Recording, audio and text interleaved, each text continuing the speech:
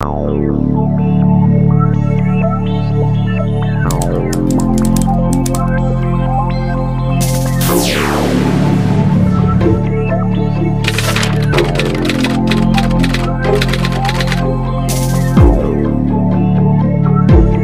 Hi everyone, welcome back to my channel or welcome to my channel if you're new here. I hope you're all doing so well. Welcome back to another true crime and makeup video. Today we are covering the case of Ed Gein, also known as the Plainfield Butcher. This is the craziest case and I think it'll be one that will stick with you. It's one of those ones I heard and never forgot. So when this was requested via email, I was so excited to get on and cover it. As always, if you have any case suggestions, then please leave them in the comments down below or you can send to my email, which will be up on the screen now for you. If you want the details of any products used on my face, they are also listed down below for you too, along with my social media handles if you want to give me a follow over there. But the most important thing is that you subscribe to me here on YouTube, maybe put the notification bell on if you don't want to miss when I upload that would be nice. If you've got any family and friends who enjoy true crime and makeup, send them my way. I will take them in with open arms. I always think this case of Ed Gein is so interesting if you're someone that's into horror films. Like, some of the classics are based off of Ed Gein. So we've got Psycho from 1960, based in Ed Gein. The Texas Chainsaw Massacre from 1974, based in Ed Gein, which I think that one's really obvious, like Leatherface. I'm not going to spoil anything, but yeah, very obvious. Also, Silence of the Lambs, that has elements of Ed Gein based through it as well, which is crazy. Also, if you've not watched those films, go watch them. They're amazing, they're classics love. But I think I've rambled and said everything that I need to say as far as I'm aware, so without any further ado, we're going to go ahead and get into the crazy case of Ed Gein. So, Ed Gein, or to give him his full name, Edward Theodore Gein, was born in La Crosse, Wisconsin in 1906. 27th of August to be exact, but 1906, like that seems like such a long time ago and I just completely forgot how long ago this case was. So Ed was the second of two sons. He had an older brother called Henry Gein and they were born to George Philip Gein and Augusta Gein. Now, Augusta, we're going to get into her because that lady, mm, screwless.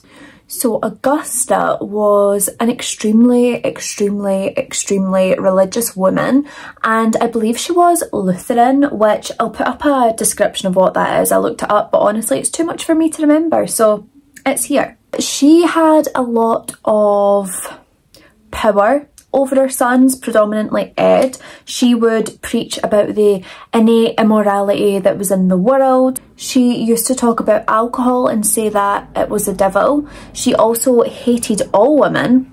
Don't know if she hated herself, but she hated all women apparently. She would say that all women were instruments of the devil and that they were all naturally promiscuous. And I'm like, Augusta, babe, do you mean you two? Are you, are you trying to tell us something? So, Augusta, she was always making sure that she was booking in some quality bonding time with her boys. So every afternoon they would get together and she would read from the Bible. Her favourite Bible verses to quote on these bonding afternoons were Bible verses from the book of Revelation and also the Old Testament and these would all concern murder, death, and divine retribution, which if you're not familiar with what this is, because I wasn't, but maybe that's just me, it's basically supernatural punishment of either like a person, a group of people, everyone by a deity in response to some actions. So Augusta was very abusive towards her children, I would say especially mentally, but this did not faze Ed Gein. Like he loved his mum. He idolised and worshipped his mum and he actually became very, very obsessed with her. It's also worth mentioning that Augusta hated her actually no didn't even hate despised her husband. He was an alcoholic. He struggled to keep doing a job. He did have like various jobs at certain points as like a carpenter a tanner and an insurance salesman. And during his time in lacrosse Gein's father did own a grocery store. I don't know how successful this was but that doesn't really matter because he sold it anyway. And he decided that he wanted to go and live in isolation with his family which Augusta Augusta was like, yes, yes, George, that is what I'm talking about. I want to go live in isolation. She never wanted to live in a town because she was really worried that people of the town, children of the town would corrupt both of her sons. She wanted them only to believe what she believed and only to act how she wanted them to act. So the family had made the move to a 155 acre farm in Plainfield, Wisconsin. Honestly, like, it looked like it could have been a nice place if you didn't know what happened. Like I was saying, Augusta loved this and she would actually go out of her way to turn away any outsiders who tried to come visit or tried to, you know, kind of like make friends with the family. She was like, uh-uh, not with my boys. So Ed would only ever leave the farm when he had to go to school and during his time at school, his classmates did say that he never really made any like meaningful connections and to be honest, he never really tried. And I suppose that's maybe like Augusta being in his ear, you know, kind of saying like, you can go to school but you're not making any friends, not with those little townies, they'll corrupt you. But his classmates did say he was extremely socially awkward, just kept to himself, and he would burst out in like random fits of laughter, which is honestly the scariest thing. Like to witness that, sir, please, like, let's calm. And to make things even worse for Ed, who was already like a social outcast, he had a lazy eye and also a speech impediment, and this did unfortunately make him a victim for bullies, like the perfect victim. And it just like things like that make me so sad, like things that can't be helped by people. Like they're then picked up on and then they're bullied for it and it just it's just horrible. And listen, I'm not like sympathising with Gein because we'll get there, but just it happens to everyone and it's horrible. On the 1st of April of 1940, Ed Gein's father did sadly pass away and Basically, Ed, Augusta and Henry picked up odd jobs around the town, so now they're having to socialise with the townies. Ugh. But they would pick up odd jobs around the town to try and make their living expenses. Both Ed and Henry were considered extremely reliable and honest within the community.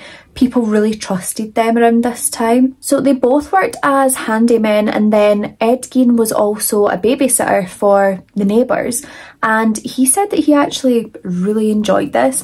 Ed Gein felt like he could resonate and relate with the younger children so he had a lot of fun during this time. He really enjoyed the babysitting aspect of it. So over time, Henry Ed's brother. He begins dating a divorced mum of two and he had really exciting plans. You know, he was planning on moving in with her, he really wanted to live with her, he was going to help raise her children. Augusta did not like this. She's like, What do you mean that she's divorced? What do you mean that she has two children?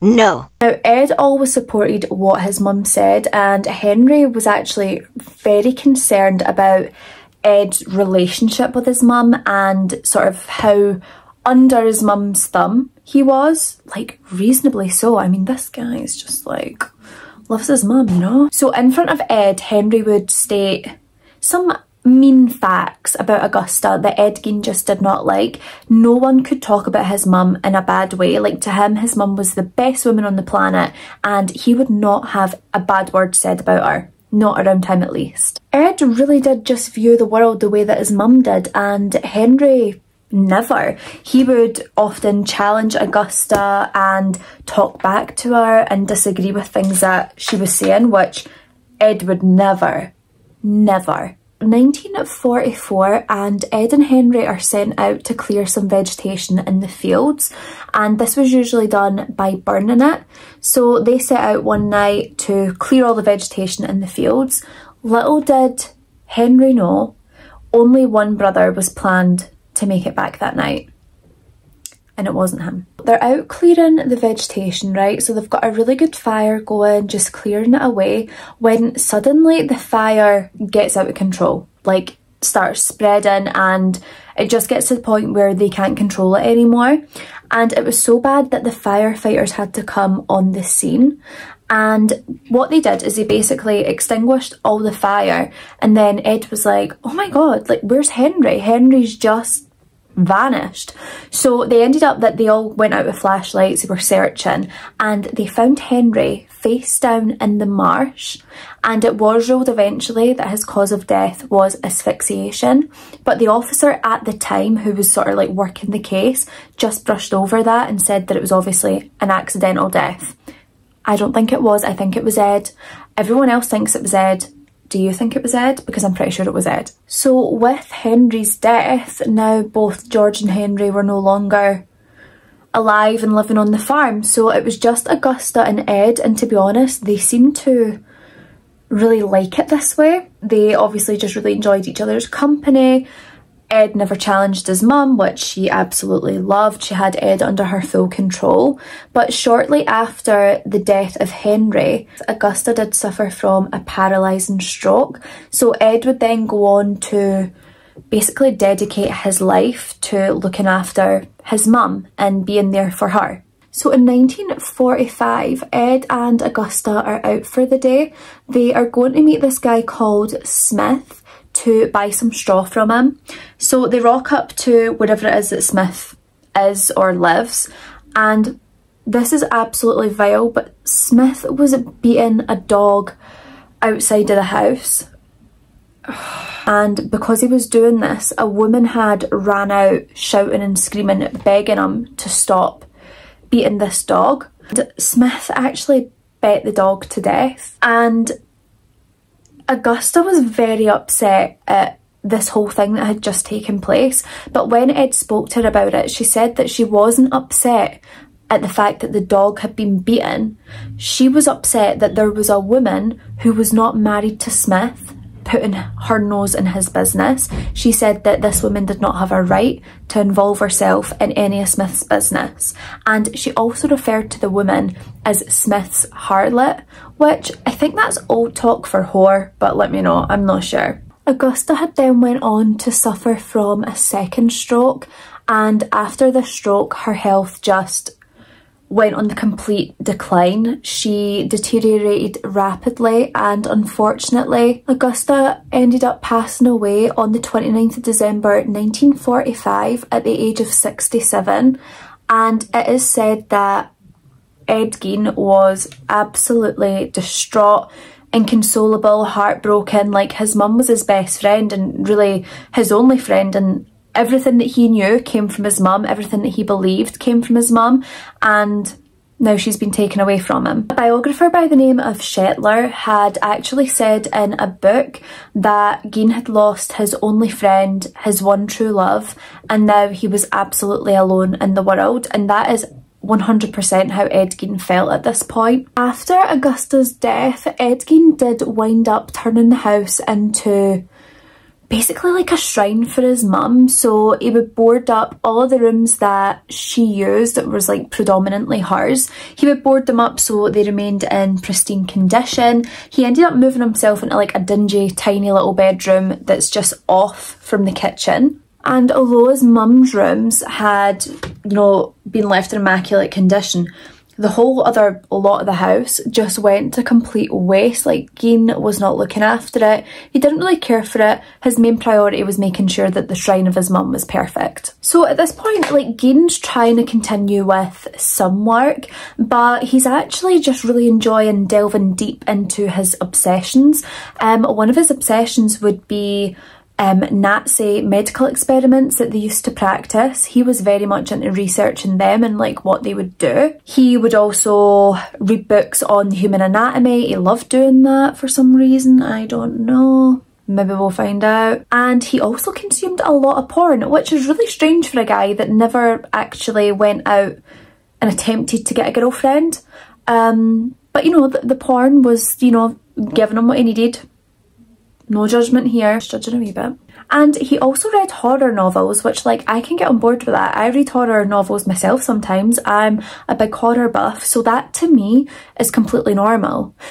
But then he starts to indulge in like these sick fantasies that he has and that that's not me. Also, I'm not sure what in the 2016 is going on with the makeup, but we're just going to roll with it, okay? Thank you. So we're now moving on to the morning of November the 16th, 1957, where 58-year-old Bernice Worden, she was the manager of the hardware store, she ended up mysteriously disappearing. Now, even though Bernice had disappeared, the truck of the hardware store mysteriously left through the back entrance around 9.30am. On this day in particular, the store had only seen like a handful of customers and it was said this could be due to it being like deer hunting season, so most likely a lot of people were out hunting deer.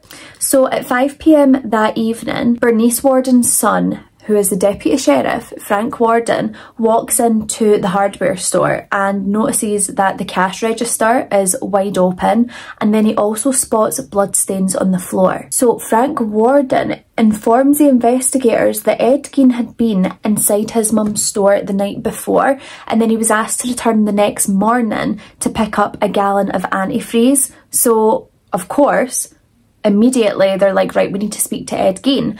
And then they notice that the last receipt that Bernice Worden had wrote out that morning was for a gallon of antifreeze for Ed Gein. And then that very evening, Ed Gein was arrested at West Plainfield grocery store. I'm kind of glad that they took no prisoners. They were like, well, they did take a prisoner, but you know, figure of speech, they took no prisoners when they went straight in for their arrest with uh, Ed Gein because usually that's something that we just don't hear of. It usually drags on and on and on. Then Waushara's County Sheriff Department, they decided that they were going to go and search Ed Gein's farm and I don't think anything will prepare you or I, let alone the deputies who had to investigate this farm, for what they were going to find. So a sheriff's deputy walked in and found the body of Bernice Worden decapitated, hung upside down with a crossbar at her ankles and then ropes around her wrist. And it said that she was dressed like a deer. I didn't know what this meant and I googled, I googled it. Don't do that, or I mean do it if you're really curious, right? But it's basically a way that deer would be gutted um, this is what happened to Bernice, which might be why they call him the Butcher of Plainfield. Now I get it. They also determined that poor Bernice had been shot with a 22 caliber rifle and they were able to deem that the mutilations that took place to her body had been performed after she had passed away so I can only hope that her death was as painless as possible and I really hope that she didn't suffer too much because although this case is insane we do need to remember that this happened to real people like is just awful to think about. So with the things that they found throughout the house, the list is so lengthy that I am actually going to read it out. I've got it all in my trusty notebook. So let's get started. So the findings throughout the house, whole human bones and fragments, a waste basket made out of human skin, human skin covering several chairs, skulls on his bedposts, female skulls with the top sawn off them, bowls made from human skulls, a corset made from a female torso skinned from shoulders to waist, leggings made from human skin. Leggings? Why is this why does this man want a pair of leggings? Someone should have got this guy in fashion design school. Masks made from the skin of female heads, a woman, Mary Hogan's face mask in a paper bag, Mary Hogan's skull in a box, Bernice Worden's entire head was found in a burlap sack. Bernice Worden's heart was in a plastic bag in front of Gein's potbelly stove. There was nine vulvas in a shoebox. A young girl's dress and the vulvas of two females, judged to be around 15 years old. A belt made from female nipples. Four noses. A pair of lips on a window shade drawstring, like for pulling what the blinds shut, I don't know. Um, a lampshade made from skin of a human face, fingernails from female fingers, a human nipple doorbell. So like a female's nipple was made in a doorbell. Like, how did he do this? Like, I don't know about you, but if I press my nipples, they don't go ding dong. You know, I just, I want to know how this was done.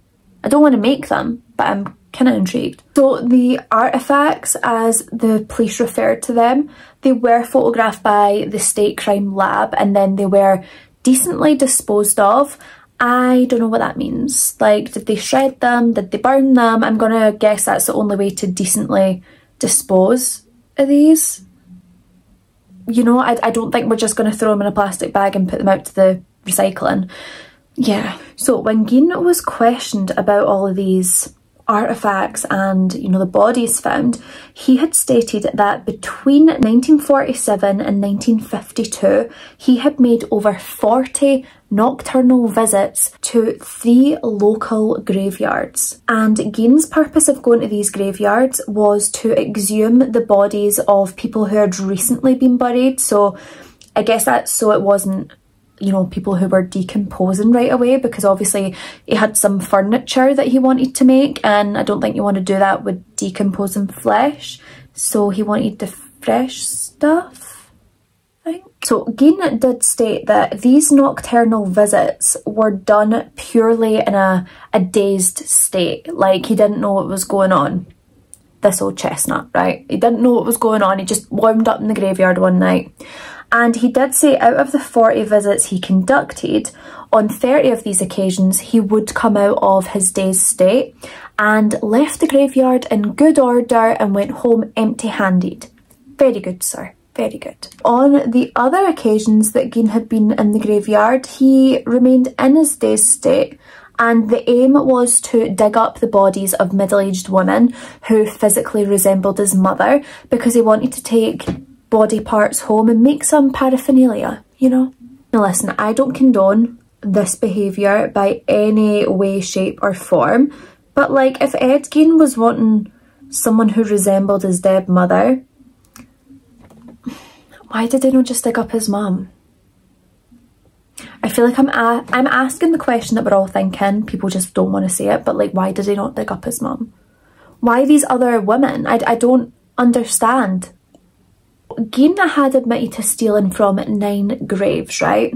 And he was willing to take the investigators to the locations. Allan Wilimovsky, one of the investigators, actually participated in exhuming three of the test graves to see if they could rely on the information that Gein was providing. So when opening up these graves, they noticed that the caskets were inside wooden boxes and as they dug down, they could see that the caskets were only two feet under the ground and it turns out that Ed Gein was actually eh, robbing these graves when the burial hadn't finished, like the grave hadn't been finished yet, so it was easier to access.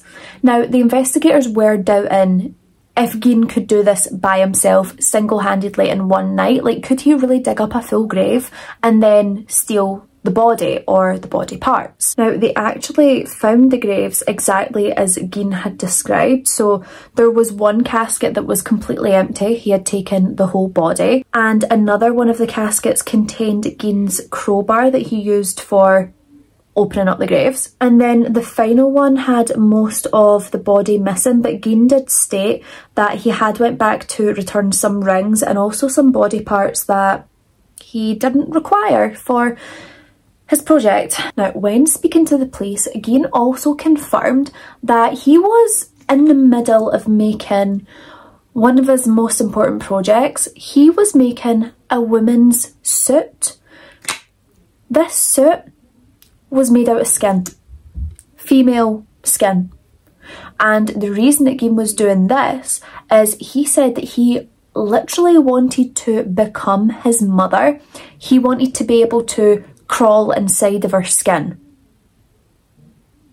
Like, sir, you never done that when she was alive. Why are we doing it now? They also questioned Gein about any sexual acts that he might have performed on the bodies, but Gein absolutely denied having sex with any of the bodies. He stated that the bodies smelled too bad. But like, they smell too bad but you're decorating your house with them.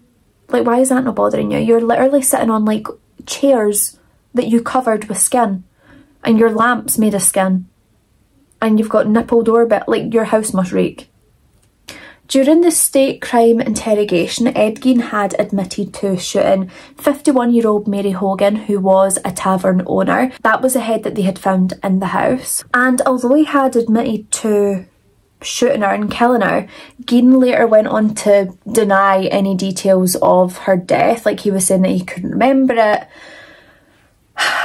like, give us a break just say yes I did it. Now a 16 year old whose parents were actually friends with Ed Gein and who had went to the movies and basketball games with Gein had said that Ed Gein kept shrunken heads in his house and apparently this was from his cousin when he was in World War II. He was in the Philippines and he basically kept these heads and then gave them to Gein. These were determined to be human facial skin that had been peeled from the corpses. And Gein was actually using these as masks. Masks, I know, I know. Now, due to Detective Art Schley assaulting Gein during his confession by banging his head and his face up against a brick wall, his claims and confession were then deemed admissible. Schley had died of heart failure in 1968 at the age of 43 and his colleagues had said that he was completely traumatised by the horrors that Ed Gein had committed and he was also very fearful of having to testify in court about the fact that he assaulted him.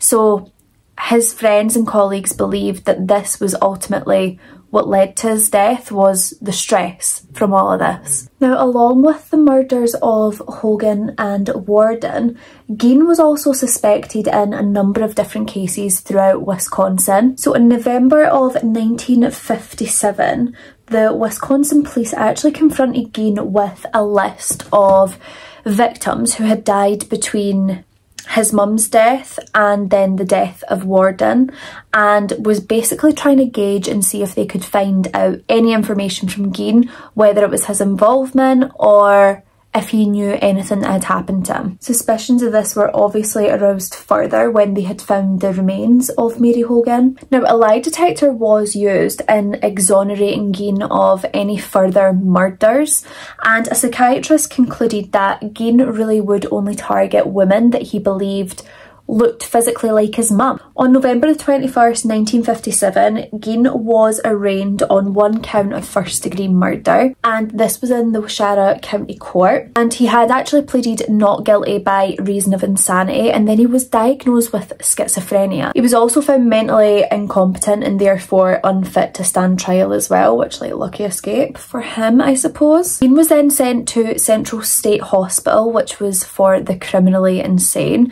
and I think he was basically there for treatment to then deem if he could later stand trial for the crimes that he's committed. Was at one point transferred to Mendota State Hospital as well. So in 1968 doctors did deem that Gein was now mentally stable enough to confer with counsel and also participate in his defence. Trial began on November the 7th, 1968 and it did only last one week. Gein had said to the testifying psychiatrist that he didn't know whether the murders that he committed against women were intentional or accidental.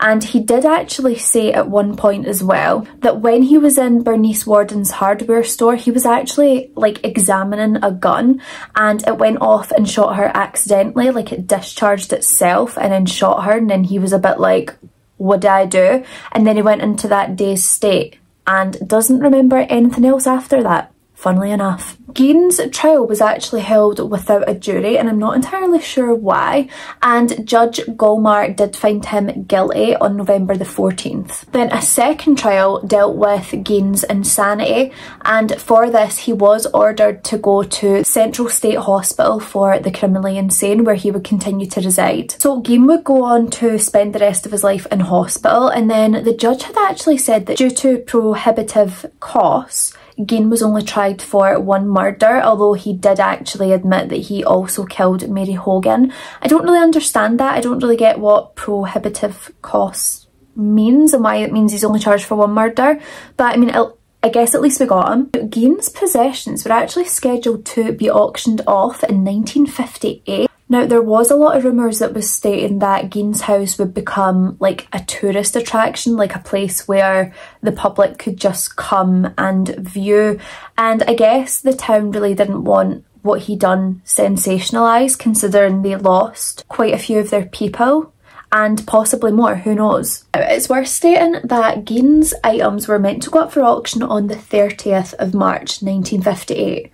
Then on the early morning of March the 20th, like in the early hours of the morning, a fire goes up at the Gein household. This fire completely destroys and takes down the house and it is suspected that it was arson, but it wasn't further investigated and was deemed almost like a freak accident.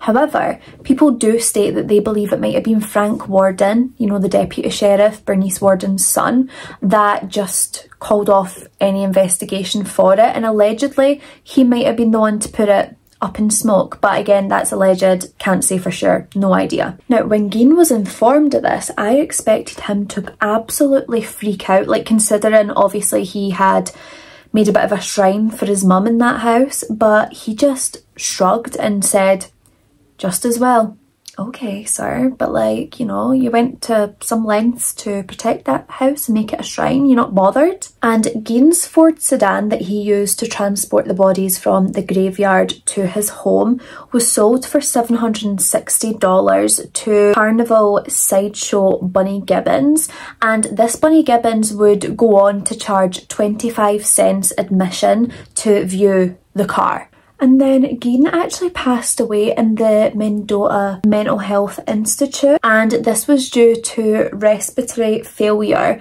and secondary to lung cancer and he passed on July the 26th 1984 and he was aged 77 at this point. So I mean he actually did live quite a long life. I mean certainly longer than his poor victims who whose life he had stolen so that's annoying. Now, souvenir seekers actually chipped away at Ed Gein's gravestone and then it was eventually stolen in 2000 and then it was rediscovered near Seattle, Washington in 2001 but the police had taken this in to their storage. Ed Gein's grave is now unmarked but not unknown and he's actually buried between his mum, his dad and his brother. So that is the end of the case of Ed Gein. I really hope that I've done it some justice and that you walk away learning learning something new or even just enjoyed listening to me whilst I done makeup and discussed this case. It's obviously a very heinous and horrific case and unfortunately you know there's two women confirmed to have lost their lives and then so many bodies of people's loved ones being exhumed illegally and used for Gein's own personal projects. I really do want to hear your thoughts, feelings and opinions down below on this case and also please leave any case suggestions or requests down below in the comments or you can send them to my email which I'll have up on the screen now for you.